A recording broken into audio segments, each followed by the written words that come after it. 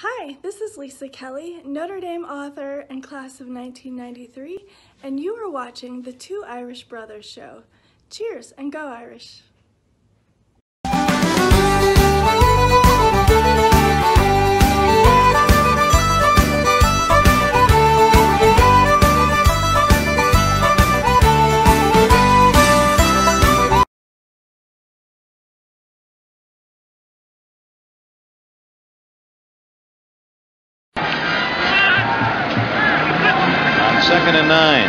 Mirer going deep for Smith. Irv Smith.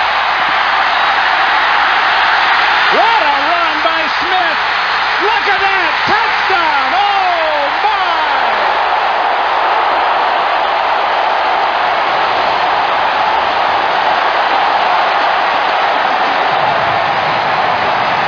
This is a beautiful fake by Mirer. Now a nice touch right up over the top. Now this this is a this is a backup tight end.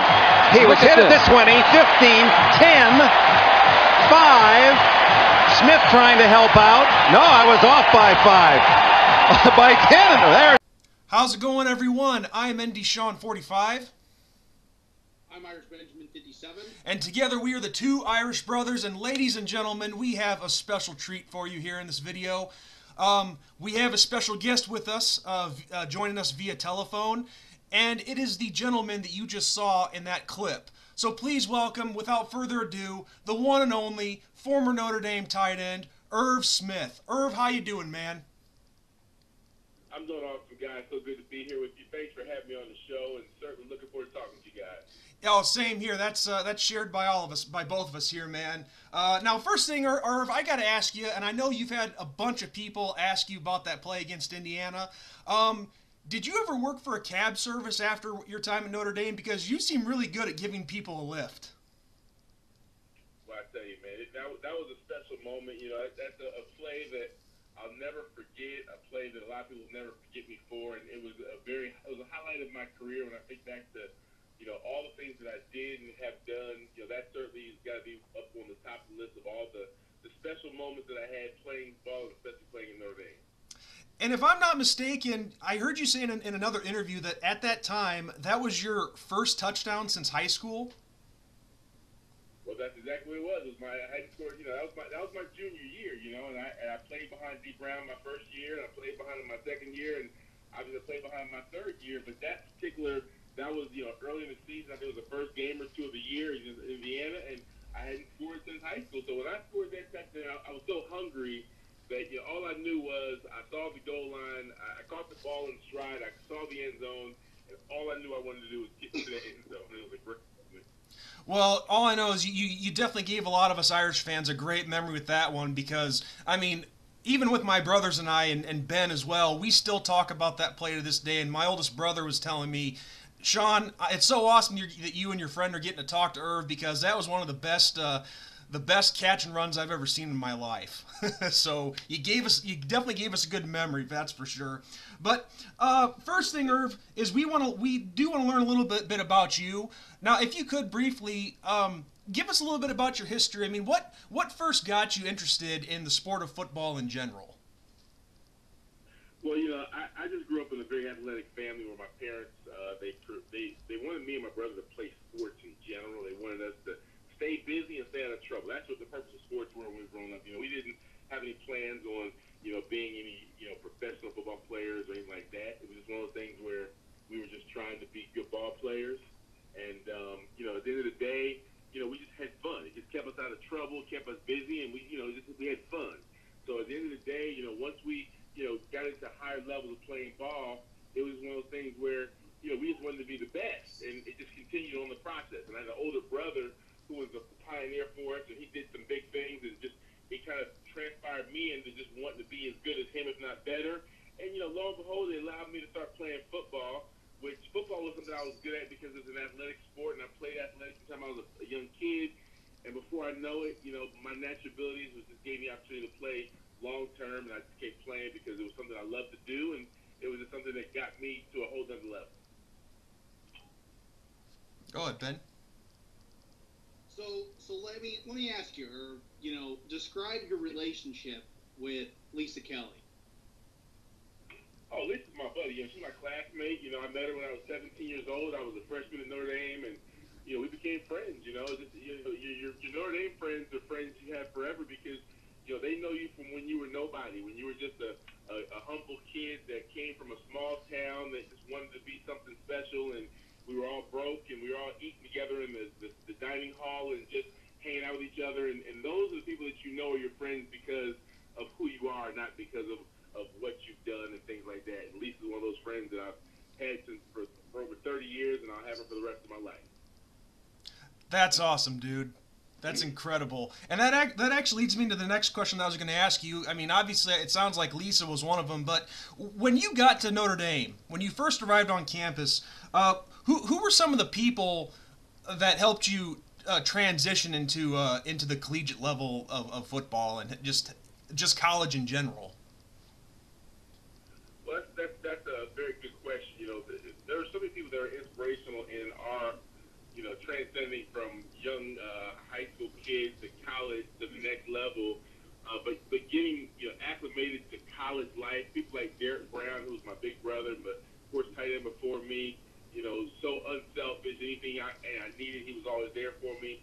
Um, you know, uh, Rodney Culver was a great, very great friend of mine. He was actually uh, part of my host when I came out for my visit, and he was always one of those guys that was there for me. Another guy named Braxton Banks, who was a, a, a- veteran when I got to school. There's, I, I could name off so many guys.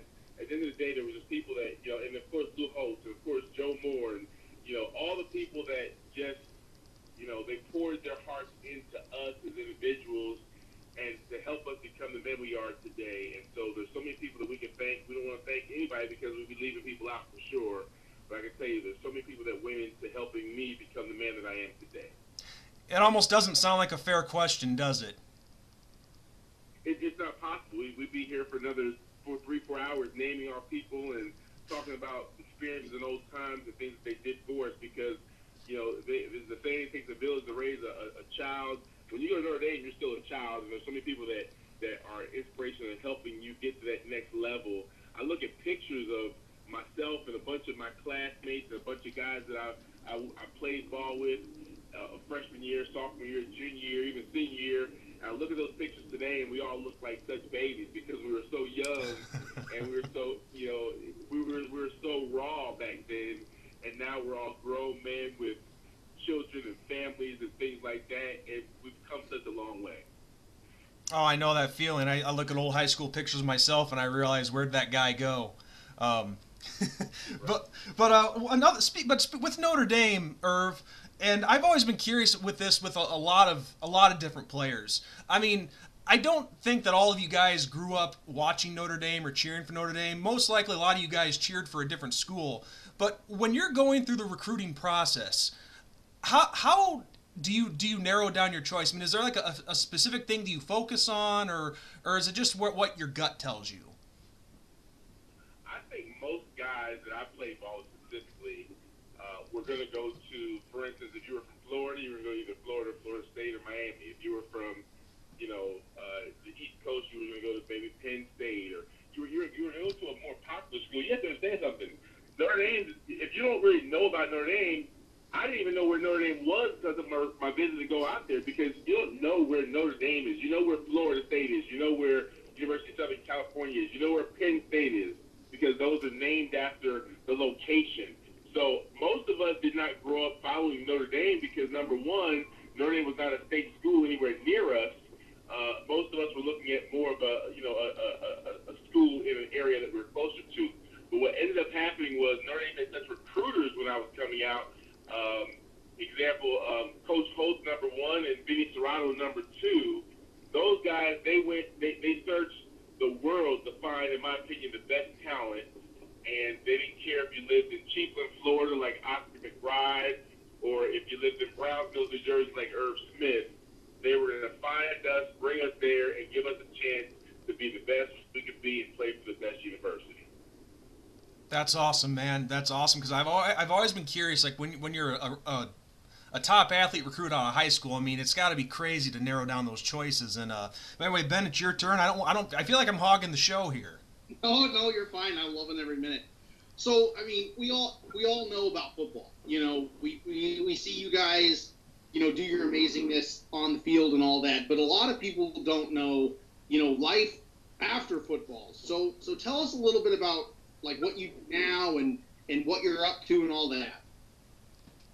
Well, the biggest thing that I'm, I'm honored to be as a, as a parent, I've got a 21 year old son that I've been, you know, just spending a lot of time with him over the last 21 years. But that's been my life after football. I left it. I left football in 2000 when my son was two years old. I, I, I walked out, walked off the NFL because I, I wanted to be there for my son, and I was tired of traveling and football being the main thing in my life. And so for the last 21 years, I've been able to really just spend time with my son to help him become the man that he is. I'm a real estate broker. I've been licensed in real estate for 20 years now as well. Do a lot of stuff with, you know, working with clients as far as uh, buyers and sellers and doing investment properties for myself and fixing flipping properties. And if you name it in real estate, I've probably done it over the last 20 years. And that's really what I love to do. That's my passion outside of uh, where I play football. That's really awesome, Irv. And, and it sounds like you've been doing pretty well. And you know, unfortunately, as we we've seen from various documentaries, there's some guys where it's football that's all they know. And you know, as awesome as it, as it is, I think that's kind of sad when that's all you know how to do. And we've seen how they how the Well, treated know, them. I've been very blessed. You know, when I when I went to Notre Dame, I was told by a guy named Rodney Culver. Rodney said, "Irv, he said, if you come to Notre Dame, he said, I can't guarantee you win. Gonna win a, national championship. He said you're gonna be on TV every week. You're gonna play a lot of football in front of a lot of people. You have a chance to play in the NFL. But what Notre Dame's gonna do for you, life after football, no other place in the country can do that for you. And he told me that, and that's the reason I went to Notre Dame. And I can tell you this, without a shadow of a doubt, the number one thing Notre Dame did for me was prepare me for life after football. Yeah, I can I can vouch for that. I mean, myself personally, I come from a Notre Dame family. I've had relatives that go there, and they've pretty much told me the same thing. So what you're saying is a, is dead on dead on accurate. That's for sure. And you know, when you talked about you know playing on TV every week, that actually leads me to, to my next question for you, Irv. It's kind of a two in one question, but I wanted to ask you about the 1992 Sugar Bowl. Now, of course, as we all know, the the '91 regular season, you guys finished with um, you know losing two of your last three games. You finished the season eight and three. You still made the Sugar Bowl, but of course, we all know the the story with um, you know, people. A lot of people are saying you guys didn't deserve to be there. You were going to get destroyed by the Florida Gators, and of course, there was you know Coach Holtz and the uh, the whole Cheerios Bowl thing. Um, what was what was the build up to that Sugar Bowl like for you guys, and, and hearing all those those negative reports in the media? Well, you know, all that did was excite us and fire us up because we knew the kind of you know when you when you play and practice against people like Chris Zorich and Michael Stonebreaker and Todd Lyght and I can name the guys going on. You when you practice those guys every day, you know how good you are. You know how good your team is. We were, a phenomenal team. There was a reason we lost some games, but when you look, when you when you put the body of work that we did in four years, or take it take a six or seven year period from let's say uh, 1987 or 88 before I got there until 2000 until 1993 or 94, you know, you, you can name off players from those teams, and people will be like, "Wow, like, are you kidding me? You play with Jerome Bettis, you play with Rodney Coach, you play with, I mean, all these names you name off. At the end of the day, when we played that game against Florida, we knew we were a better football team than them. We knew we were going to we were to give them, if nothing else, a run for their money. But we ended up beating the brakes off of them, obviously. Um, no different than we played my senior my year against Texas A&M, and we beat them by about 40 points. We're a good football program, and we knew that we could go out there and compete with anybody. And when they said that we, we didn't belong in that bowl cave, we knew one thing: we were to prove everybody wrong, and that's exactly what we did. And yeah, yes, you guys did. And I have some Florida fans that'll probably see this and not be happy, but personally, I don't care. Um, now, now, obviously, obviously, eight, eight and three wouldn't get you a major bowl bid today, unfortunately, with the way the system works. But yeah, you guys proved that you you deserve to be there, and you beat one of the best teams in the country. And the the follow up question that I have to that is, of course, in the game itself. I mean, when people look at the 92 Sugar Bowl, they automatically think Jerome Bettis, you know, the bus and the game that he had. I think it was three touchdowns and 140 yards on the ground.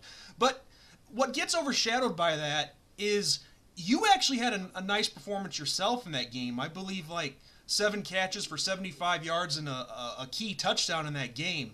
So Tell tell me, Irv, what was that like to be able to do that and to play on on that kind of stage? Which, as we all know, the Sugar Bowl is, you know, one of the most prestigious stages in college football. Well, what most people don't know this, and this is probably this might be one of the first times I've I've actually said this publicly on the air because it really didn't have a lot of value as far as what, what was ended up happening, but the Sugar Bowl is what changed my life. I was a football baseball player at Notre Dame. I played baseball under Coach Pat Murphy, and um, I, my first two years at Notre Dame, I played on the baseball team, which took away from time preparing for football. So when I so every year after the bowl game, I would go back to Notre Dame and I would actually play baseball until spring spring football, and then during spring football, I'd do football and baseball, and I kind of split time. Well, I, I, I had a, a pretty pretty good game in the Sugar Bowl, and I finished the game up. And I got on a plane. I flew back home to New Jersey before I flew to uh, Notre Dame to go to go back to school. And I was planning on going back to school and playing football, uh, playing baseball again. And on my plane ride from uh, New Orleans to New Jersey, it hit me. It said, "Irv, it's time for you to get baseball up and focus on football." because I had such a good game and I love baseball, but I was a better football player. And that moment made me realize for the first time in my life it was time to give up baseball. And I'm telling you right now, after that performance in the Sugar Bowl for me, the seven catches, 70 some yards, touchdown, that's what made me decide to give baseball up, go football full time, and make that run to be a first round draft pick. And that's exactly what happened. Wow. Uh, that's pretty. That, that, that's that, that, that's literally exclusive information that I just shared to share on your show that I've never shared the whole oh. story with anybody in the last 30 years. That's literally the true oh. story. Well, if that's the case, and we are pretty honored and privileged to hear that information. Well, you know, the, the question the question you asked is what prompted the answer because no one's ever really asking the question that way. And when you asked me that question, it made me realize as I thought about the answer, you know, that Sugar Bowl is what promote that performance. I always remember the touchdown. Like the one thing I remember about that game is the touchdown, but I, I didn't always think about the other catches. You know, you don't you don't catch ten touchdowns in a game, but you might catch some passes. But the one the thing that everybody always remembers is the touchdown. But the, the other catches are just as important, if not more important, than that touchdown is. And when you asked that question and brought up those facts, it made me finally realize a big part of that game was not just that touchdown, it was those additional catches that helped me get my hands on that ball and start really realizing that this was this was my life, this was my sport, this was my thing, and being a professional NFL tight end was really my long-term goal. And I made a decision after that game to literally put all my eggs in one basket, to stop playing around with baseball, and to go play football. Man, a, a, a true life changing event, and we got to hear it. That's that's unbelievable. I think I think you know Ben. I think Lisa might have been right when, when we had her on the show. She see her. She called Ben and I journalists when we had her on, and I'm like, oh Lisa, you're just being too kind. We're not journalists. We're just a couple of we're a couple of schlubs with a YouTube channel. And you know, she might be right. There might be a touch of journalism in us. you know, you you got you got you guys know how to you know how to get the information.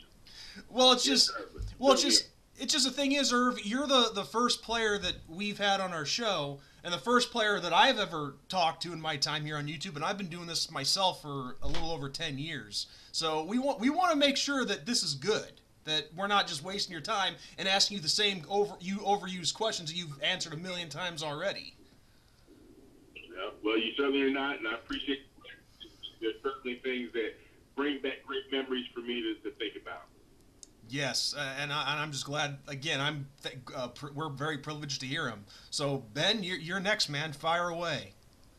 Anybody that that follows you closely and knows you and follows you on Twitter knows that you're pretty big into golf. So, how much do you golf? Well, I love golf. Um, the, the problem for me is time. I'm a very busy person. Uh, once I, I always go, go back to my, you know, my son is like my life. You know, following him has been such a blessing for me. And so there's sometimes where I, I don't want time to do anything other than literally I'm on planes flying back and forth to go see him and spend time with him. And I come home and I'm busy with my, my career and business and things like that. And so that's the tough part about my life is that I'm just busy. But I live in Arizona where one day, my goal is to be able to get up every day or three or four days a week and go out and play golf. I've got some amazing clubs. I, I did a golf tournament for the ND Club of Phoenix. Uh, man, it's probably been eight, nine years ago, and they blessed me after the tournament and gave me an amazing, beautiful set of pink golf clubs and a golf bag and all the, the bells and whistles and and so one day I want to be able to go out and play golf and look as good as Tiger Woods plays. You know what I'm saying? Well, at the very at the very least, feel like him, right? Absolutely, that, that's my goal. Well, well, and speak, speaking of your son, uh, Irv Jr., um, I know that you're a very proud father. You're you're very happy at his success and you know being glad to follow him. But I, I got to ask you this question. I know that you know the majority of parents they leave it up to their kids to choose what's best for them and what path to go on. But is there a part of you that kind of wishes he did go to Notre Dame? I mean, if he did go to Notre Dame and you know be the you know the second Irv Smith to be there, would your excitement have gone up just a little bit? A little bit Well, extra. I'm glad you once again. I'm glad, I'm glad you guys asked the question. You know, I, I'm not sure y'all know the story. The truth of the matter was, you know, my son wanted to go to Notre Dame, and I did everything I could do to get him to Notre Dame. And you realize Notre Dame did not recruit him. They literally told me that they had no interest in him. And so, uh, Wow, at the didn't end know of the day, he was a top recruit coming out of high school. And um, I mean, literally, I called him on the phone. I called Reggie Brooks, who's one of my closest buddies to this day, and said, "Reg, I'm giving you my son on a silver platter. Okay, let the coaches know. Whatever, just let us know what we need to do for him to come there. You know, just let us know." And the the, the recruiting guy at the time said, "Let Reggie know. We're, let Irv know we're not interested." So at that point, you know, we had to go talk to the the Nick Sabans of the world, the LSU's, the Alabamas, the Texas A&M, you know, the other the other good schools, uh, because they literally would not offer my son a scholarship. And um, the the blessing for me and my son was that he went to the place that God intended him to go to. Um, I, I, my plan was Notre Dame, but God's plan was Alabama.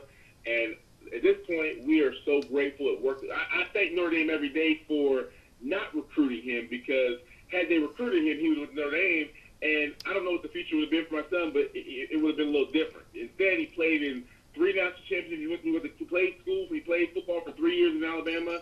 He played in three national championships. He won one, and he, he was the third tight end draft in the NFL. And you know, he, he broke all the Minnesota Viking uh, rookie tight end receiving records. Uh, he broke uh, every receiving record that Ozzie Newsome has at Alabama. Uh, and, and at this point, he's on track to, to have an amazing career if God keeps him healthy. And so I thank Notre Dame because it wasn't part of the plan. And at the end of the day, it allowed my son to be Irv Jr. and not have to follow in the steps of Irv Sr. And he's actually blazing trails that's going to blow away anything I've ever done, thought of doing. And that's, that's probably the greatest blessing for me and the greatest blessing for a parent, for sure. Well, I mean, uh, you know, we'll we'll never say roll tide, but that that is an awesome story to hear that you know that Nick, that Nick Saban was able to give him that opportunity to really shine, and he, you know, he's he's definitely making the best of it, and you know, I I do hope for for you and him that he does have a long and and lustrous career in the NFL, but I, I'm sorry, man, when he plays my Bears, I'm cheering against him 100. percent No worries, no worries. Guys, I do apologize. I have to go to another appointment. If you like, you can call me back in about 30 minutes and I can finish up. I just have to walk to this appointment right now. I'm sorry. Okay. I, yeah, we didn't we, we didn't have much left to ask you. We just wanted to ask you about the uh, the charity that you had to to promote uh, from some time ago. Get that after the meeting. Yes, yes. We, we, were, we were in the process of having our, you know, going over to Ireland and having a golf event over there. This, this, you know, for the the, the, the, the Navy game, and of course that whole thing had to get canceled. So we're kind of up in the air right now. But if, if you stay tuned with me, as soon as this whole pandemic thing is over and we get back to some normal life, we're gonna start promoting some more golf tours, uh, be bringing some of our good friends that we play with uh, across different seas and play some golf and have some fun and support some some, some major charities as well. All right. Aw- Awesome. Well, thank you, Irv. Thank you so much for being on the show. Yes, it was it was a great privilege. Listen, listen, guys. Stay in touch with me anytime you guys want me on the show. Just give me a call, okay? Yep, Yeah. sounds great. man. S- Sounds sounds great, Irvin. Thank you so much for taking the time and uh, uh, just God bless you, man. My pleasure, guys. God bless you guys too. Take care now. Thanks. You too. Bye bye. Ben, that was awesome. It I- really was. Uh, I, I just talking to a piece of my childhood. No kidding. Irv, Like- Irv Smith. Irv Yeah. Smith, everyone.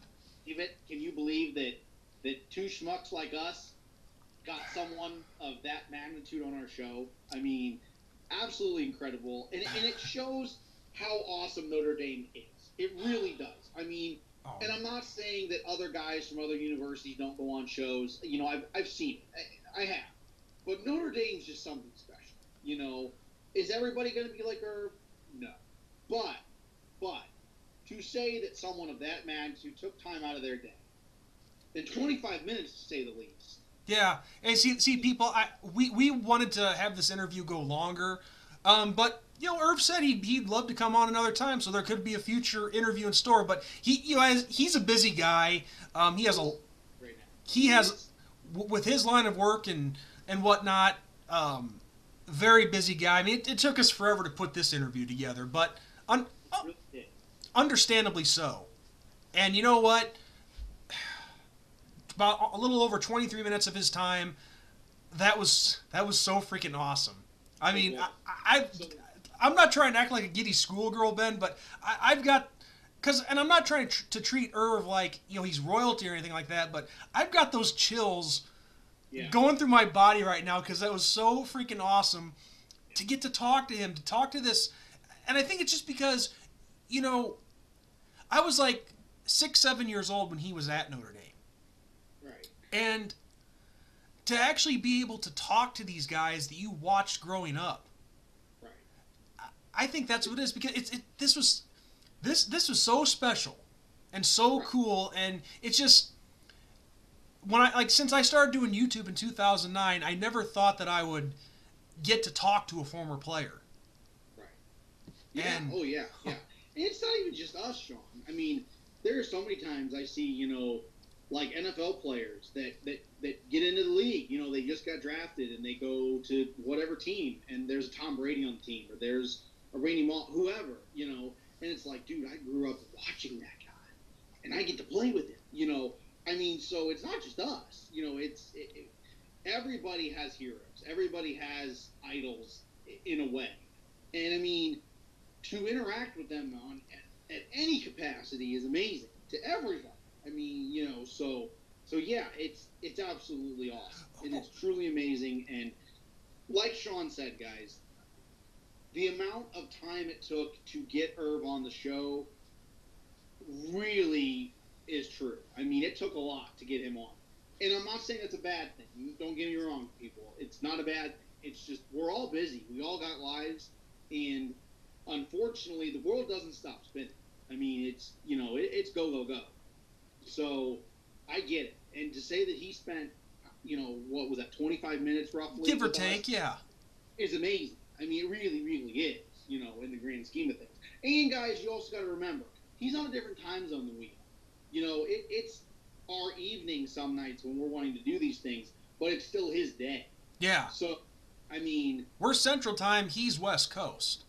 Yeah. So, I, I mean, it is what it is. But yeah, it was absolutely amazing to have Irv on. What a nice guy.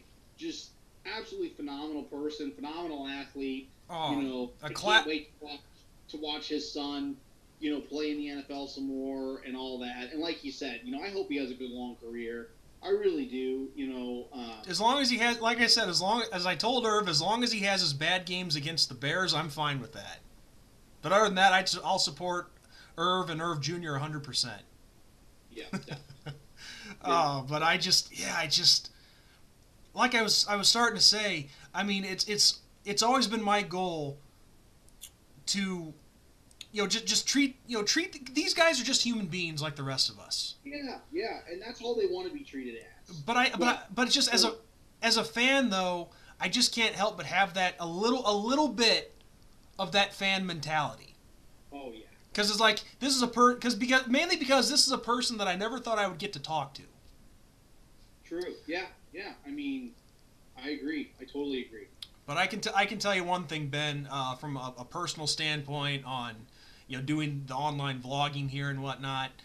Um, the 11 years or so that I've been doing YouTube and a lot of the crap that I put up with, this video right here that we're making now is worth all of it. Oh, Yes. Yes, I mean it, it just it was incredible. I mean, you know, watch watching a guy that I've seen in you know that infamous clip of him carrying the defender into the end zone. I mean, I've seen it hundreds of times at least. Yeah. Um, that's that's actually been to the university that I followed my whole life, played there. Uh, you guys know where I'm going with this. It was just tonight was just such a cool experience, and you know, Irv, Irv, I, Irv, I know you'll see the video, but thank you again so much. Thank you so much, really, from the bottom of our hearts. You, you, we don't do this to make money. We don't do this, you know, to, to look to make money. We do this because we love, you know, Notre Dame. We love Our Lady, and um, it is something that we share a passion for the, the University of Notre Dame, and it's something that we try to bring to everybody else. You know, that passion, that love, and if we can make one person's day, let alone however many others, with our videos, that's worth all of it. And I gotta say, even as a Protestant, being a Protestant, I love Our Lady. But it's but that but that's this is you know, yeah, making people happy, coming together, showing the the true uh, the true good in the world and whatnot. I mean, I'm not trying to sound like a freaking hippie here, but what you said, Ben, pretty much summed it up. I mean, and, especially in a time where you know there's a lot going on in the world right now, and we'll keep it at that. And to have a bright spot like this, Yes. for example, is wonderful, absolutely wonderful. Especially because we got nothing sports wise right now except for like golf and NASCAR. So I mean, and those are good. Don't get me wrong; those are fine. But you know, nothing is like Notre Dame football. I'm sorry, No. nothing. It's it's a, it's a special time of year. It's, it's a very unique thing in my opinion. But uh, one thing, one last thing I wanted to say. Um, we uh, Irv, as you guys heard, touched on it briefly, but um, I'm sure we can have him on another time to talk about it more in detail. But we'll provide you guys the link to uh, to the The cha- to the charity that Irv does work for. Because, you know, like I said, he was kind of rushed for time. We couldn't really talk a whole lot about it. Um, but we'll we'll give you guys more details on it. We'll, we'll provide the link. You can go check it out for yourselves. Uh, and if you want to donate, make a donation. Yeah, So- for sure. I mean, it's, it's an absolutely noble cause. You know, it, it's truly amazing what Irv is doing with that charity, especially because he is such a busy guy. You know, with his family and his business and all that. To say that he's doing this epic charity is amazing, and shows the truly amazing and greatness of these guys that go to Notre Dame. Yeah, Um, absolutely. yeah, if you want to donate, please, please, you know, anything. Doesn't matter if it's dollar, doesn't matter if it's a thousand dollars. You know, please donate to his to his charity because it makes a difference. It really does. Yeah, and it is it is for a good cause, but for now we'll let you guys read it for yourselves, and uh, we'd rather have him be on and here to talk about himself. So we'll we'll just leave it at that for now. Um, Yep. But it is for a good cause. I can tell you guys that much. So, on that note, got unfortunately we got to come a little down out of the awesome cloud, and um, and this is a good a good spot to uh, to end this video. Uh, so, on that note, I am ND Sean 45, I'm Irish Benjamin 57. and for our guest Irv Smith, we uh, just wish you guys the best. Have a great night, and as always, go Irish, and God. Straight T, third and goal. Here's the fake.